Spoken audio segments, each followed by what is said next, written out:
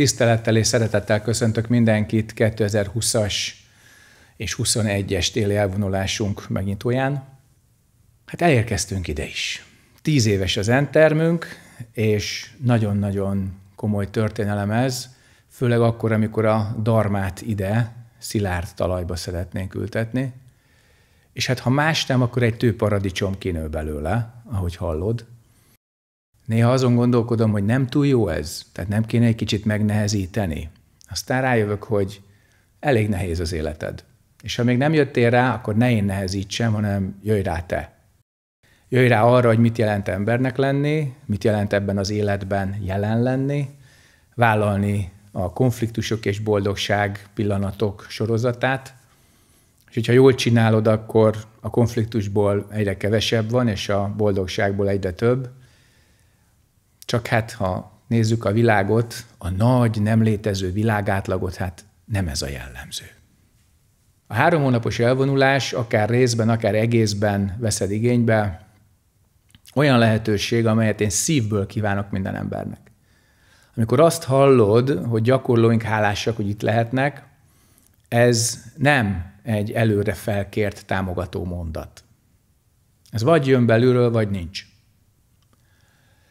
A három hónapos gyakorlat történelmileg ugyan a buddha idejébe megy vissza, a nyári, és a téli pedig Pajcsang zenmester idejébe a 8.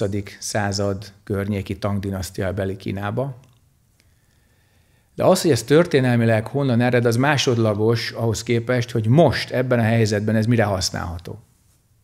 Látszólag te kivonod magad a forgalomból minimum három napra és maximum három hónapra. De valójában az történik, aminek tényleg történnie kell, hogy belül te egy kicsikét lepucolod a tükröt és megerősíted az alapjait. Hogy bírd a másik kilenc hónapot odakint. 94-ben ültem az elsőt, és azóta egy tél kivételével minden évben szerencsére részszám volt egy 90 naposban. Volt olyan év Kóreában, ahol a nyár is szerencsére a miénk volt. És 20 évvel ezelőtt döntöttem el, hogy nem lesz olyan év, amikor ez ne lenne. És rögtön a 2001-2002-es tél olyan volt, hogy nem tudtam elmenni Koreába, és akkor itthon se volt, Európában se volt, és egyszerűen nem ment. És amikor tényleg érzed a hiányát, akkor jössz rá, hogy az a belső eltökéltség az nem mese. És ez arról szól, hogy ha te minőségi életet szeretnél élni, akkor ezért a minőségért meg kell dolgozni. A három hónap az rendkívül rövid idő, ha az egész életedet nézed, és rendkívül hosszú idő, hogyha egy elvonulást nézel. És mindez arra jó, hogy egy kicsikét jobban tisztába kerüljön magaddal, megerősödj és letisztulj. A nyári monszun idején Indiában nem lehetett utazni, és a tanítványok sem tudtak a darma beszédekre eljönni, és éppen ezért a szerzetesek a kis kunyhóikban meditáltak, naponta egyszer találkoztak, és együtt az délebédet elfogyasztották, és amikor a monszunnak vége volt, akkor ismét bejött a vándoridőszak. Pajcsang zenmester idejére már olyan mennyiségű szerzetes és templom volt, hogy a négy évszakos klímán valami egyebet is ki kellett találni, és a tél az arra való, hogy egy kicsit a természet megújítsa önmagát, így nekünk is a természetünk belül megújulhat. Milyen munkáról van szó? Felteszed a kérdést, hogy mi ez? Amikor nem gondolsz jóra és rosszra, mi az eredeti arcom? Innentől kezdve megfelelő irányba megy az erőfeszítés. Befelé megy. És a belső megoldás válik külső megoldássá. Hogyha egy picit a mennyiség helyett a minőséggel törődnénk, más életet élnénk, más kapcsolataink lennének, a meglévők jobban működnének, az énünk nem szólna annyira közbe. Akármi is legyen az alfa hagyományod, azt a kihívást nem nélkül összetett, hogy te egy tisztább és jobb önmagad légy. Itt ez a kihívás a zenen belül a Kuan praxis. Szembe kerülsz az összes reakcióddal, az összes karmikus akadályoddal, sőt úgy tűnik, hogy te nem tudsz nyugodtan ülni, mert a megoldatlanságod, elsődlegesen a koan, másodlagosan a karmád, az egyszerűen bök, zavar, irritál. És ez nagyon egészséges, hidd el. Legelején én is azt hittem, hogy megtanítanak engem meditálni, és majd jó, nyugodt leszek, meg békés. Ez nem volt igaztalan, csak nem úgy és nem akkor jött, mint amikor az ember ezt szeretné. Az elején olyan belső reakciókkal, olyan eddig nem látott karmákkal kell szembesülnötök, amelyek teljesen átformálják az önképedet. Tehát amit te addig hittél magadról, hogy milyen ember vagy, az itt három hét, három hónap, bármikor itt vagy, bármeddig itt vagy, eltűnik. El fog tűnni az önkép, és valami reálisabb, valami valósághűbb lesz a helyén. Ezt az önképvesztést ki kell bírni. És pontosan ezért van ilyen harmonikus környezet, és ilyen gyönyörű épület, és ilyen finom étel, és ennyire jól szabályzott életvitel, az óramű pontosság, a szabályok, hogy te nehogy azt hidd, hogy a környezet rakja rád ezeket a problémákat. Hogy te a környezetettől vagy olyan, amilyennek éppen aznap érzed magad, és még a fürdőszoba tükörben sem szeretnél szembenézni magaddal, belül, a belsőbe pedig aztán végképp nem. Ráadásul itt van az a meditációs technika, hogy nem mozizunk, nem nézünk sorozatokat belül, improvizált klipeket sem, nem hozunk létre vágyvilágokat, képzeteket, hanem itt vagy ebben a pillanatban. Mi ez? Felteszed a kérdést. Vagy ülsz és hallod a hangot, felfogod a rezdülést. Egyszer csak a felszíne kerül benned egy mantra, az alfája és az omegája találkozik, és egy szép végtelen ciklusban elkezd működni a tudatodban, mint egy fúrófej, és így megy, megy, megy, megy, megy, valami sokkal igazabb felé, mint amit addig hittél magadról. Ezeket a tapasztalatokat nem lehet intellektuálisan átadni. Nem lehet pusztán szóbeli közlés alapján elsajátítani, és kedves YouTube rajongók, én nagyon örülök, hogy ti nézitek ezt a csatornát, mert tényleg zen folyik belőle, mi más folyna, de amíg csak nézitek, addig nem léptek be ide. Hány év kell ehhez? Hány tucat vagy hány száz órányi szenvedés kell ehhez? És itt a megfelelő frusztráció, a megfelelő irritáció, és így a megfelelő motiváció lesz a tapasztalat. Nehogy azt hidd, hogy a belső szenvedés tapasztalata nélkül van fölébredés. És amikor gyakorolsz, akkor rájössz arra, hogy hát minden lehet, csak paradox nélkül élni, azt nem lehet. Egy idő után már nem feloldani akarod az ellentmondásokat, hanem a lehető legtisztább alakra hozni, és úgy paradoxként élni meg, hogy ez az élet teljességét hozza. Semmi baj a logikával, a rendszerekkel, a szervezettséggel, csak ez még kevés, ez még csak a halászháló, de nem a tenger. A halászhálóval nagyon sok mindent kifoghatsz, sajnos manapság az egész tengert lehalásszák, de a tengert magát nem lehet a hálóval kifogni.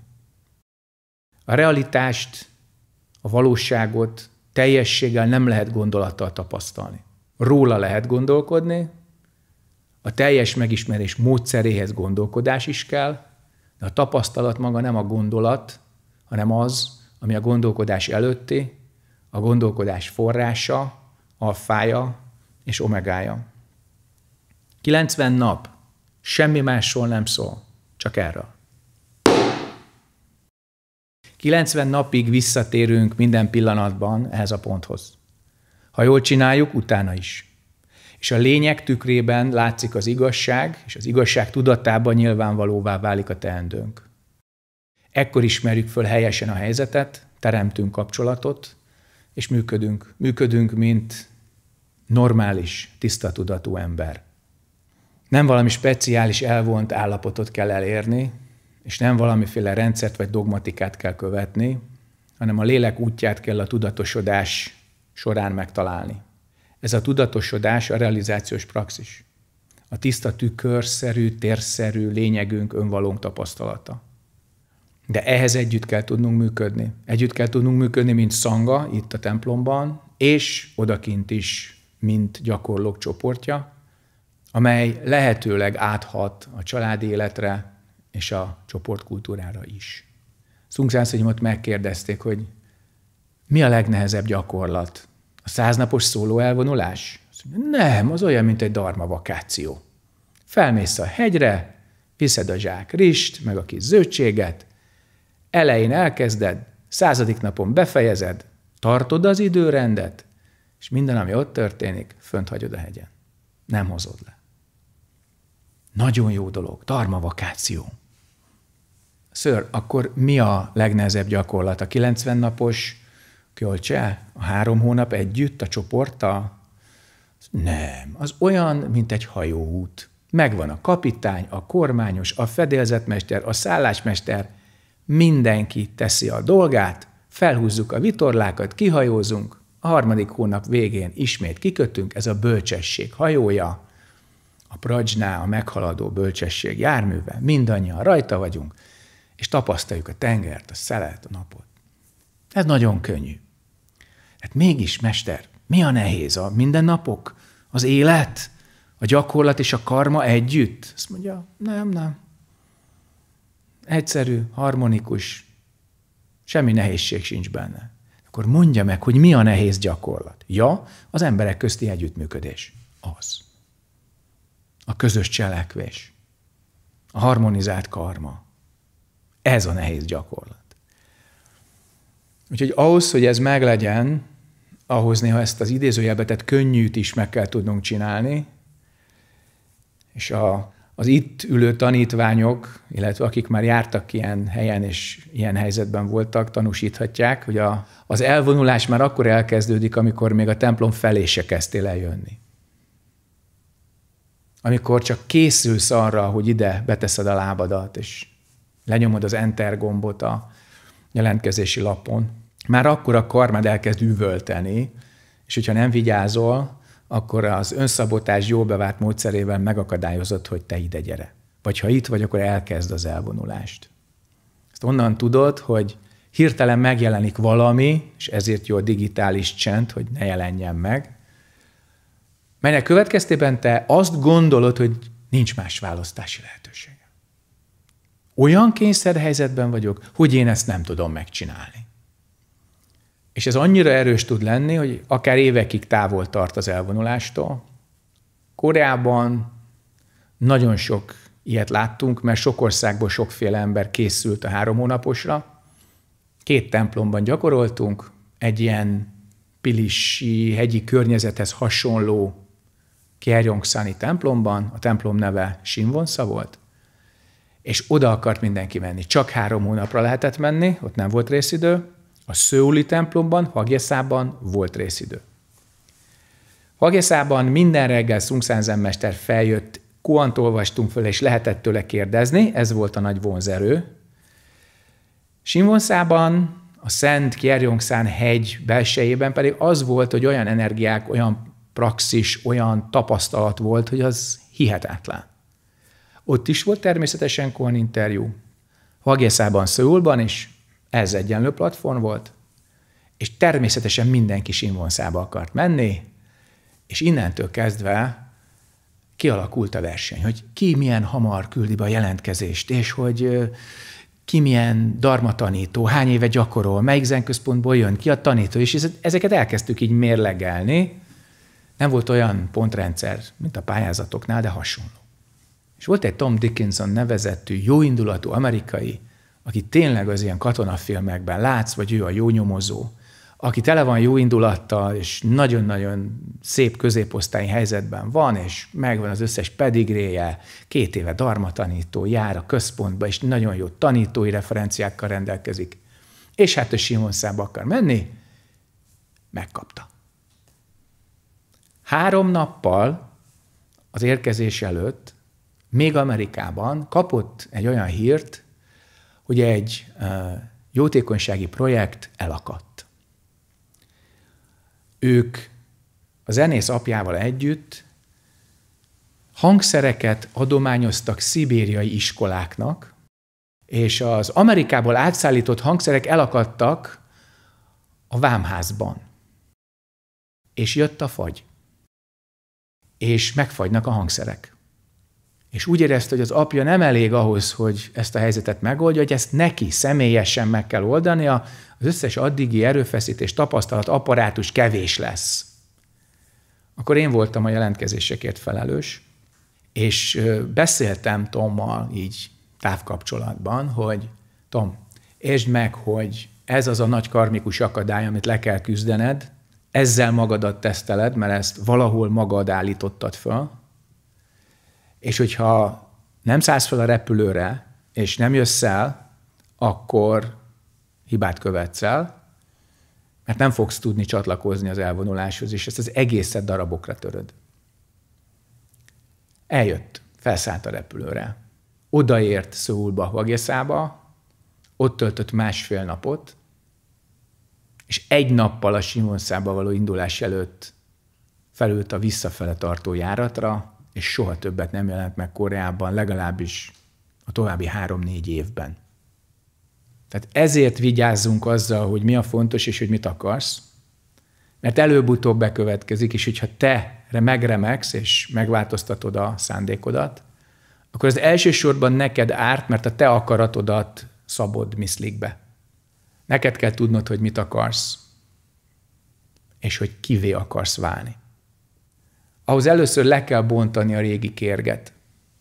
Engedni kell a kígyót vedleni, hogy új bőrt növesszen.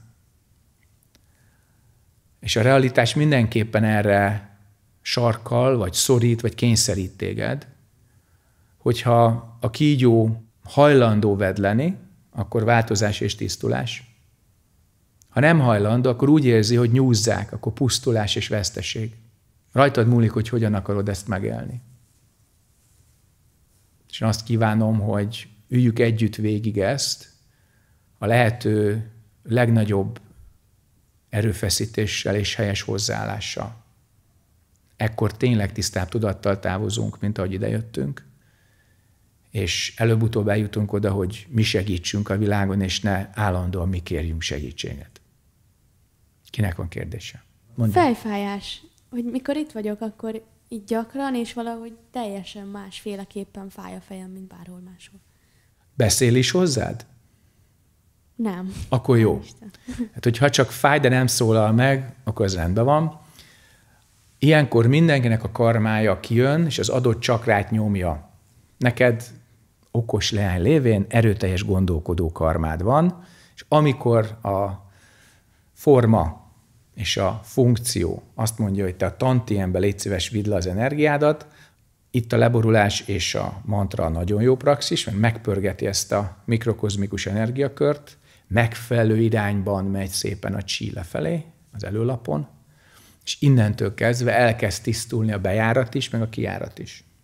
A karma az nem csak információ, hanem energia, és a legsűrűbb formájában fizikum, test, érzékszervi hatás.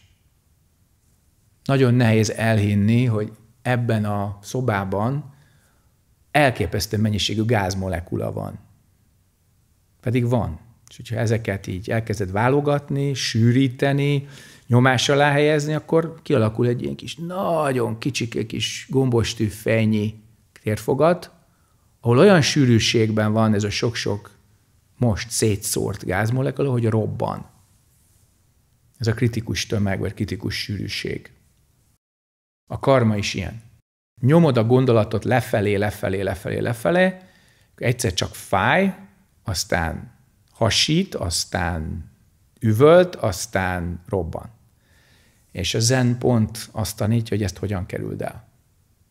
Eleinte, mivel jól akarunk gyakorolni, és az a cél, hogy ne gondolkodjunk, gondolod te, mert ugye ezt hallod, nem a gondolatok látását célzod meg, hanem a gondolatok elnyomását, hogy te józan tanítvány légy, és a tükör előtt ne legyen semmi, mert azt hallottad, hogy az a jó. Úgy értetted az instrukciókat.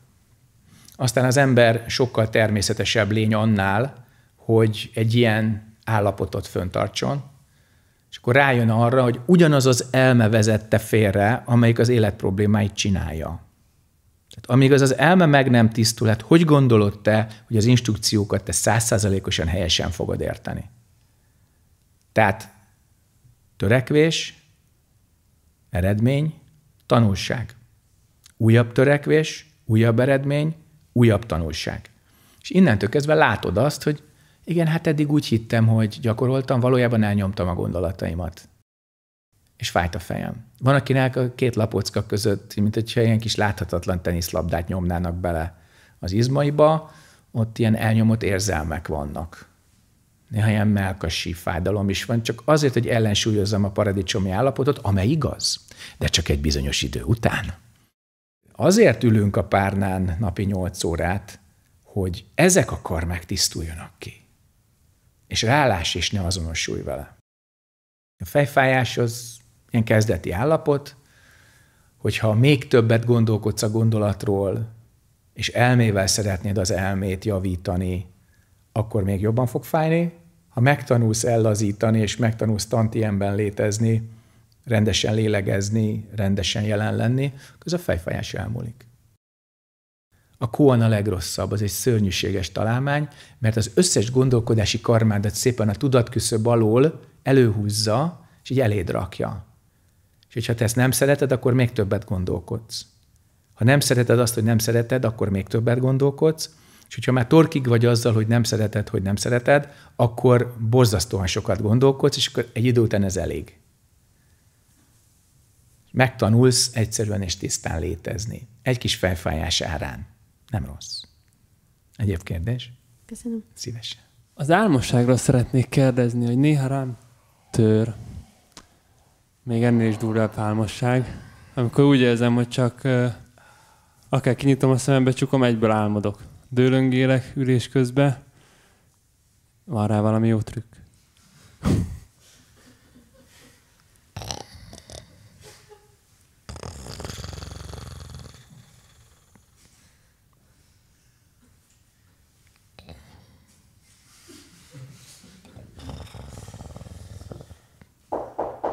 Na végre! Ébresztő. Tehát ilyenkor azon nyomban észre kell venni, hogy alszol. Valaki észrevette szerencsére, és az ébresztő mozdulatnál nincs jobb. Az a jó, hogyha az átmenetileg elhomályosult belső éberséged ébreszt föl, és nem pedig valami külső botütés, vagy csukpiütés, vagy egyebek. Az álmosság akkor van, amikor olyan mennyiségű tartalom van a tükör előtt, hogy teljesen letakarja. Volt egy szerzetes, aki Simvonszában ült, és nem is egyszer, és neki az volt a karmája, hogy megütötték a csukpit háromszor a meditációhoz, és akkor ő szép, lassan így előredőlt, a homloka az úgy megállt a talaj előtt egy olyan 5-10 centivel, a hátizmai tartották rendesen, és amikor megütötték 50 perc múlva a csukpillanat, hogy szépen följött, és hát az egy olyan műfaj volt akkor, hogy nem szóltak neki, itt szólnék, tehát ez nem fog bekövetkezni senkivel. Ha gondolt, hogy pihizel, az nem ilyen lesz. Hát egy ideig haladt előre, aztán megunta, és abba hagyta a 90 naposokat. Tehát magad helyett senki nem fog fölébreszteni téged, egy kis külső segítséget mondjuk itt kapsz, nem mindenhol. Japánban az ellenkezője van, ugyanott nincs 90 napos, olyan három hét körüli a leghosszabb elvonulás, ott te egyetlen centit így előre mész, és már jön a megfelelő tisztség, és boom! Ott egy kicsit komolyan veszik a mozdulatlan és rezenéstelen éberség gyakorlatát. Itt szintén azt mondjuk, hogy nem mozog, maradj ébren, de itt egy kicsit nagyobb a tolerancia. Egyszerűen azért, mert ezáltal fog benned fölébredni az az éberség, amely csak belül lehet. Mert ez a sajátod. Tehát ha te úgy alszol el, hogy zavarsz másokat, akkor egész biztos, hogy valamilyen módon fölébresztünk. Az elején érdemes napközben is egy picikét pihenni, délután, nem sokat, elég egy fél óra, három óra, és utána sétálsz egyet, és a délutáni ülést úgy kezded meg, hogy uram, bocsás, szünetben 108 leborulást elvégzel, vagy egy kis jogát, egyéb hegyi sétát, és akkor egy kicsikét megpörgeted az energiádat, és ahogy a víz is, hogyha nagyobb nyomású, jó sugárban jövő víz van, hamarabb elmosod az edényt. Ha pedig csak úgy csepp, csepp, csepp, akkor nagyon sokáig tart. Aki olcsó, egyébként tényleg olyan, mint egy magas nyomású mosó. Minden koszt fellazít a karosszérián, és nyomja lefelé. Ez az álmosság, ez egy átmeneti időszak. Aztán amikor azt hiszed, hogy nagyon jól megy, jön a hetedik hét, az intenzív hét, és akkor aztán tényleg üveghangra ki van húzva az éberség, és kiderül, hogy amikor naponta csak három órát alszol, akkor az milyen, és az utolsó éjszaka pedig egyet sem. Legalábbis lefekve nem. Hogyha ülés közben, és akkor ilyen vidám kis álomvirágok jelennek meg, akkor meg tényleg az együttérző gyakorlatvezető fölébreszt. Tehát az álmosság mulandó. Az éberség nem. Csak néha elfedjük. És a gyakorlattal ez az álom, ez a vastag, kemény, kuánószerű karma, vagy a felhőszerű, gyönyörű, de ugyanúgy akadályt jelentő karma elmúlik. Megtanulod, hogy az jön és megy, mert tapasztalod. Csak az éberséged az előbb-utóbb stabil lesz, tiszta, mint a kékék. Jó? Én azt szeretném kérdezni, hogy reggel van 108 leborulás, vagyis választható. Választható, így van. Van-e jelentősége, hogy reggel csinálom, délután csinálom? Sok helyen hallani, hogy a reggeli gyakorlások akár hajnal 3-5 óra között elvileg a tisztább tér miatt ajánlott. Van-e jelentősége így? A tér az mindig tiszta, csak a tudat az nem mindegy, hogy milyen állapotban van. Ez teremti a térélményt is. Persze jó reggel csinálni, hát én 20 évig csináltam reggelente, utána délután is, meg még tovább. A lényeg az, hogy valamikor legyen meg. Kezdőknek is nagyon fontos, haladóknak is, de a 108 leborulás reggel az tényleg olyan, mint egy energiazuhany. Az nagyon jó. Utána éneklés, utána ülés, de mi rendszeresen ebéd után, a délutáni ülés előtt is csináltunk, néha kétszázat, és akkor az egy kicsikét felpörgette az embert, és az nagyon kell. A leborulás, ahogy azt az előbb mondtam, a mikrokozmikus energiakört nagyon komolyan tisztítja, és megerősíti a tantient. Megerősíti a pillanat tudatosságát. A tisztább tudat és a nagyobb energiaszint együtt olyan, mint az okos kapitány, aki megvárja, míg a dagály megemeli a tengerszintet, és akkor vezeti át szépen a vitorlást az átonyok fölött. Hogyha nem lenne dagály, akkor az átonyokon fönnakadna. És ez a magasabb energiállapot azt jelenti, hogy úgy látsz rá a karmádra, hogy nincs dualisztikus viszony vele. Nem akadsz bele, nem azonosulsz vele, nem nyomod el, nem vonzod, nem csökkented, nem növeled. Ez a magasabb energiaszint ez ezért kell, és nem csak azért, hogy jobban érezd magad az egy mellékhatás. Úgyhogy a leborulás nagyon jó, aztán meg kell tudni tartani az energiaszintet mozdulatlanul is, ülés állapotában is. És akkor jó. Köszönöm szépen. Szívesen. Szeretném kérdezni, hogy ugye szó esett arról, hogy ha nem tudunk itt maradni 90 napig, akkor, hogyha otthon gyakorlunk, betartjuk ezt a rendet, ezt a napi rendet, nyilván hasznunkra válik. Miért engedett meg itt ebben nálunk, hogy, hogy otthon is lehet gyakorolni? Azért fontos ez, mert amikor Szungszánszonyim nyugatra hozta a tant, akkor azokat a módosításokat elvégezte, amelyek az adaptációt lehetővé tették, de a lényeget nem veszítette el ezáltal a tan.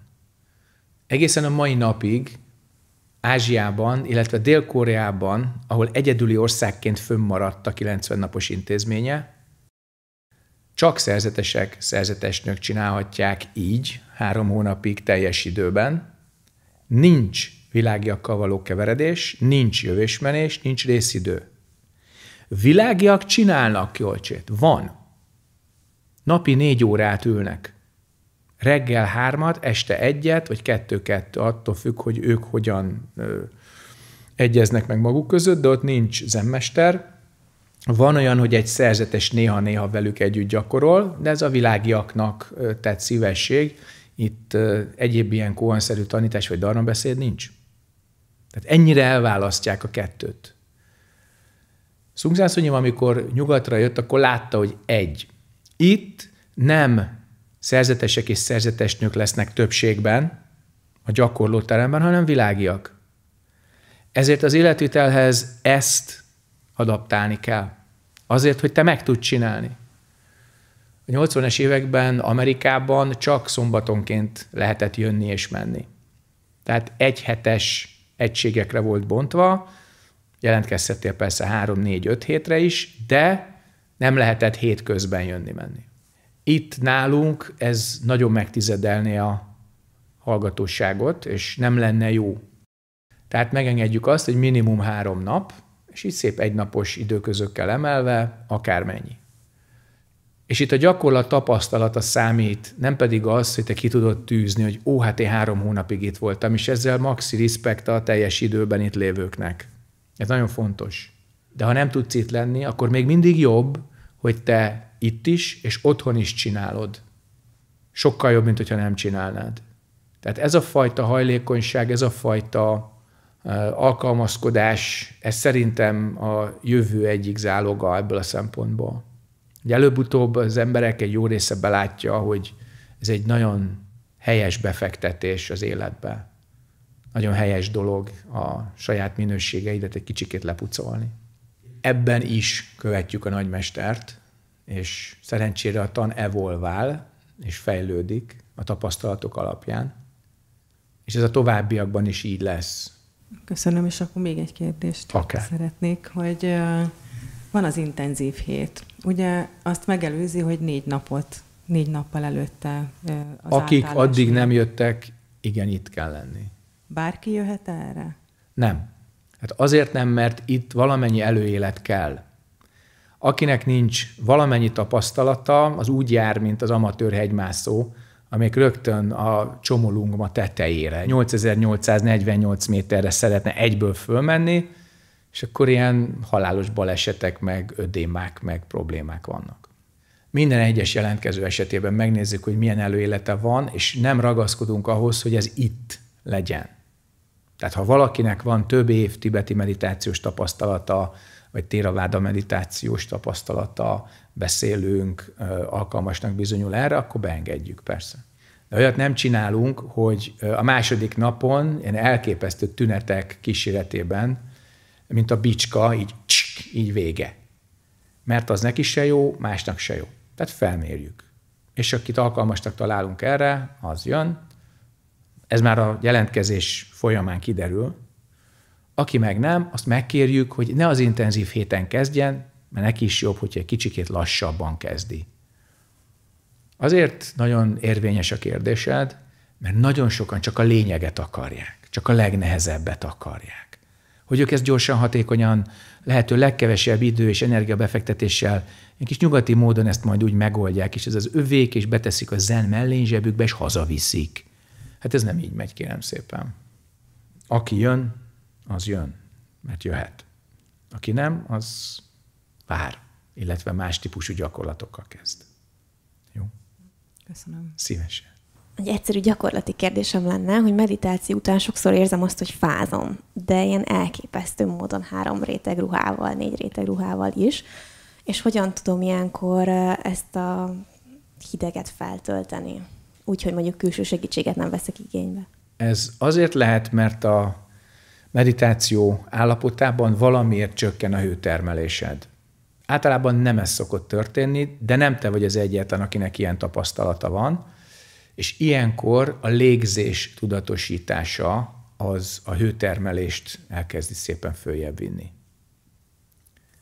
Egyébként a leborulás szintén segít, mert a meditáció előtt annyira magas energiaszintet érsz el, hogy amikor ülsz, és a mozdulatlanságban a csí szintje lefelé megy az esetedben, akkor nem megy annyira mélyre, hogy elkezdje fázni.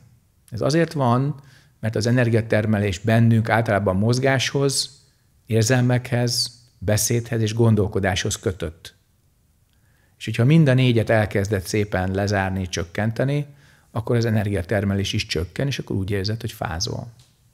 Igen, de épp ez az, hogy ülés közben érzem a, a csí áramlását elég erőteljesen, és ennek ellenére és ülés előtt szoktam leborulásokat csinálni. És így is. Lehet, hogy nem elég. Az is lehet, hogy olyan gondolati és érzelmi tartalom jelenik meg, amelyek egyszerűen kihűtenek. És akkor már nem a fizikum és nem a kinetika adja ezt a jelenséget, hanem már az, ami mondjuk érzelmileg megjelenik. És amikor az elmegy, akkor az energiaszint megemelkedik, és ugyanúgy ősz, és ugyanúgy elvégezted a leborulást előtte. Hogy négy nagy csatornája van itt a szervezetnek az érzékszervi hatásokon kívül, ahogy hallhattad, a gondolkodás, az érzelem, a beszéd és a test per mozgás. És egyik a másiktól el tud venni. Tehát van, amikor annyit gondolkodik valaki, nem bír fölkelni az ágyból. Tehát a depressziónak van egy ilyen formája, hogy annyit gondolkodik, hogy teljesen terméketlen, végtelen ciklusban van a gondolkodás, és minden más csatornától elveszi az energiát, alig tud megszólalni, érzései alig vannak, és alig tud mozogni. Vice versa, sportolsz, és nagyon jó, és futsz, és gimnasztikázol, és különböző gyakorlatok vannak, hát ilyen túl sok gondolat az elmében akkor nincs, mert akkor a mozgás vette el. Ez szívcsakra ugyanez. Hirtelen valaki ott kinyit egy szelepet, és akkor berobban a szívcsakra, tehát meg se tud szólalni, csak úgy érzi, hogy atombomba van itt. És akkor az érzelmek, azok kapták a legtöbbet. Ugye amilyen karma a felszínre kerül ülés közben, az elfogyaszthat energiát és leköthet. És amikor az elmúlik, akkor az energia is felszabadul. Szóba jött a mozgás. Milyen egyéb mozgásformákat végezhetek még így a kiolcsa alatt?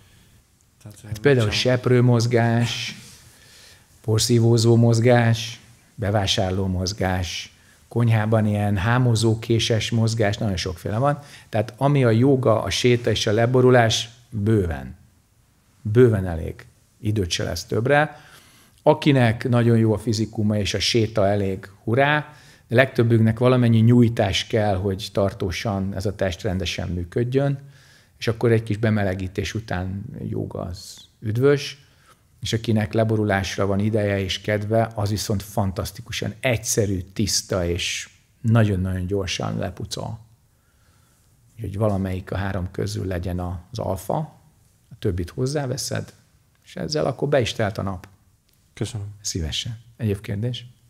Csak nem hagy nyugodni. Tehát, hogy így tudom, hogy milyen karma veszi el az energiámat. Mit csináljak vele? Hát nyugodj meg. De nyugodt vagyok. Tehát nem hagy nyugodni, most mondtad. Jó, hát de oké, de így is. Tehát közben nyugodt vagyok. Nem félek tőle, nincs Ha a karma érzem. bemozdít, akkor még több energiát veszel. Tehát biztos, hogy voltak olyan beszélgetéseid, hogy érezted, hogy ez sehova nem megy, rengeteg energiát veszel tőled a másik, és az egyetlen egy esélyed, hogy ez megszűnjön, az az, hogy te elhallgatsz. És mire te ezt észrevetted, addig kilométer hosszú beszélgetés volt, mind-mind veszteséggel. Na, ez a gyakorlat. Tehát amíg te rájössz, hogy hogyan ne generálj olyan karmát, amely energiaveszteséggel járul, hosszú idő. Olyan erős a szokás hatalma. Ehhez kell az, hogy visszavezeted a karmát a keletkezési helyére. Ezért hozod vissza a gondolkodást a gondolkodás elé. Ezért hozod vissza a dualisztikus tudatot az egybe. Azért, hogy meglásd a karma keletkezését, így a megszűnését is, és ezáltal tudod uralni. De amíg a keletkezés és megszűnés nincs meg, mint tapasztalás, addig csak pofozgatjuk, módosítgatjuk, elnyomjuk, saraboljuk, szabjuk, varjuk, de valójában nincs uralom fölötte. Nagyon sok nyugati doktrína van, és most már keleten is ilyen hibridek, amelyek nem számolják föl a végső azonosulást a karmáddal. Amíg az utolsó szálnyi azonosulás nincs felszámolva, addig nem kerültél vissza a teremtő állapotba. Addig nincs a kezedben a karma fölötti uralom. A teremtés, fenntartás és megsemmisítés vagy megtisztítás útja. Tehát ezért kell minden azonosulást felszámolni, hogy te ura lehess, és a szabadságod által felelősséget gyakorolhass. Rendkívül egyszerű. Amíg a kezedben bármi van, addig egy másik formát, egy másik tárgyat nem vehetsz teljesen a kezedben. Lehet, hogy ezt a kancsót ide tudom akasztani még a kis ujjamra, ha nagyon ügyes vagyok. De utána egy pohár nem fér oda. A mikrofon se. Tehát meg kell tapasztalni azt a szabadságot, amely tényleg itt az üres kéz állapotával szimbolizálható. Ennek annyira szoktunk örülni, hogy néha ragaszkodunk a szabadsághoz, és nem vagyunk hajlandóak a kezünkbe venni semmit, pedig már a botot meg kéne markolni, itt az idő. De nem, mert én annyira szeretem az üres kezem végtelenségét. A szabadság megmagyarázhatatlan tapasztalatát. Ez a 180 fokhoz való ragaszkodás az enkörön. És akkor ugyanolyan problémám van, mert nem tudok ki, nem tudom megfogni a poharat. Nem tudok kezet fogni egy másik emberrel. Nem tudok egy emberi kapcsolatot, mint kötődést fölvállalni, mert annyira ragaszkodom az ürességhez, a szabadsághoz. A tipikusabb ragaszkodás az, hogy a formához, az énséghez, a jelenséghez ragaszkodom. Tehát mindaddig, amíg az azonosulás nem szűnt meg, addig nem tudom megkülönböztetni a tárgyat a kéztől. Addig azt hiszem, hogy a bot és a kezem az azonos. A tudat és a tárgya azonos. Az önvalló és az önkép azonos. Ez nincs így. Mert mihelyt helyesen gyakorlok, a tudat és a tárgya megkülönbözteti egymást nagyon gyorsan. Ez a reflektálás, ez a rákérdezés, ez a megfelelő távolság és látás egyidejű tapasztalata. És amikor ez megvan, akkor tudok helyesen egyé válni, mert megtapasztaltam azt, hogy mi az alany és mi a tárgy. Már nem téveztem össze az önvalót és az önképet. Akkor innentől kezdve a karmádat elkezded uralni, mert a teremtése, fenntartása és megszüntetése fölött te a szabadságot birtokában felelősen uralmat gyakorolsz. Ez a gyakorlat. Előjött a szigor is. Mennyire legyek szigorú, így a forma betartását illetően is. A forma. Amíg nem dühödsz föl addig. Ha túl szigorú, akkor dühös, ha túl lazza, akkor állandóan mosolyog. Hmm. Az, hogy következetesek vagyunk, az nem jelenti azt, hogy merevek vagyunk. És hogyha nem vagyunk elég szigorúak, akkor szétesik minden. Ha túl szigorúak vagyunk, akkor elvész a cél. Tehát a forma, a működés, a rendszer az valami egyebet szolgál, mint önmaga. Tehát nem robotokat képzünk, hanem következetes, együttműködésre képes embereket képzünk. Ehhez viszont szükség van fegyelemre. Egy fegyelem nélkül semmi nem működik. A konyhától kezdve a hadseregig eltérő fokon, de mégis fegyelem van. Erre szükség van, de hogyha mondjuk a szeretet és az együttérzés nincs benne, és nem tud ez a hullámhossz is megnyilvánulni, akkor viszont valami elvész. A másik szélsőség, mindenki szeret mindenkit, mindenki mosolyog mindenki tele van együttérzéssel, és mindenki elkésik, és mindenki bepiszkolja a kis padlót, és a többi, és a többi. És akkor jó, hogy gyerekek, hát itt valami óriási probléma van, nem működünk.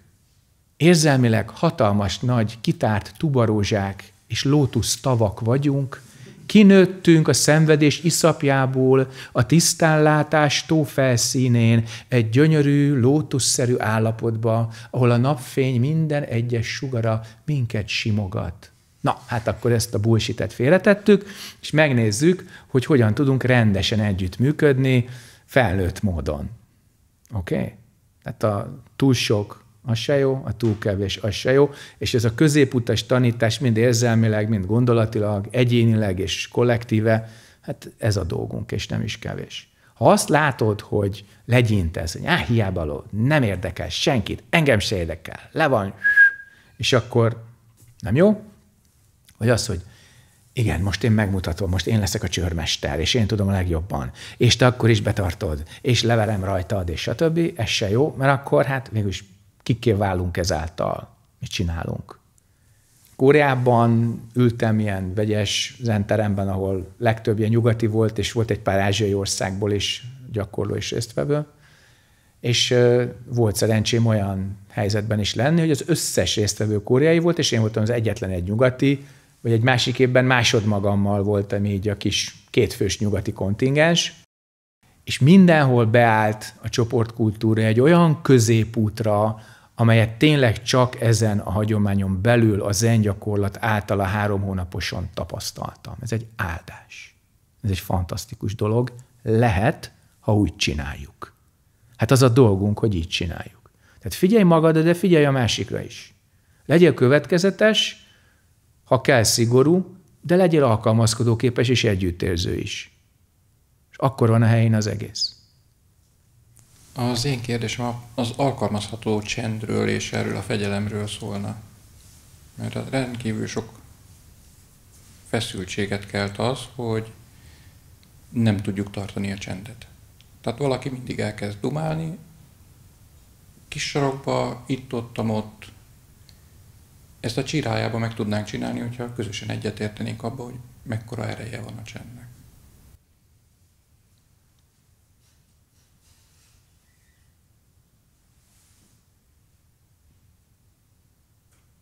Így. Nézd meg, hogy mielőtt kinyitod a szádat, amit mondanál, az értékesebben, mint az a csend, amit megtörsz. Nem lehet minden szájüreg mellé forgalmi rendőrt állítani. És nem is szabad.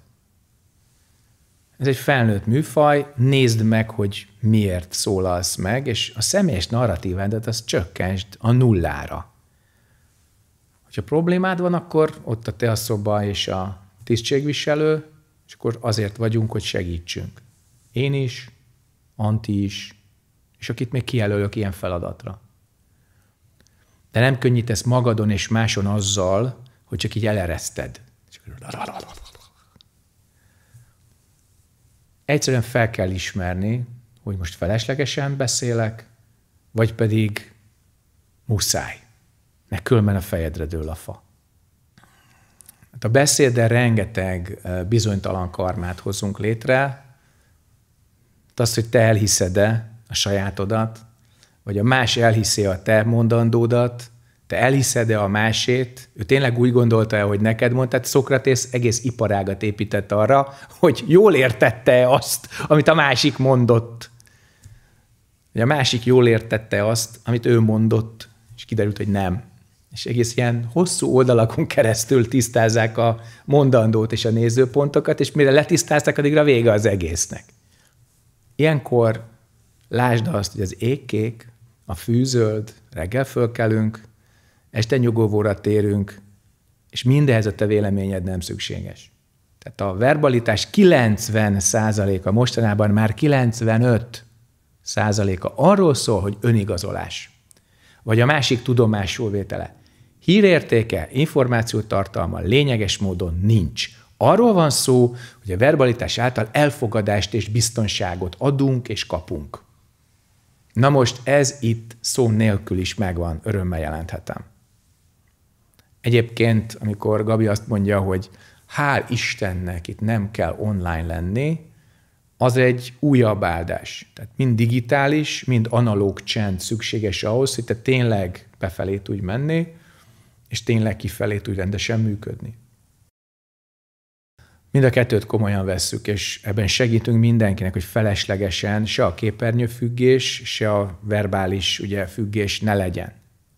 Amikor én olyan helyzetben voltam, hogy nem kellett beszélnem ahhoz, hogy ellássam a feladataimat, mert például moktak mester voltam az első Sinvonszai Kjolcsén, imádtam.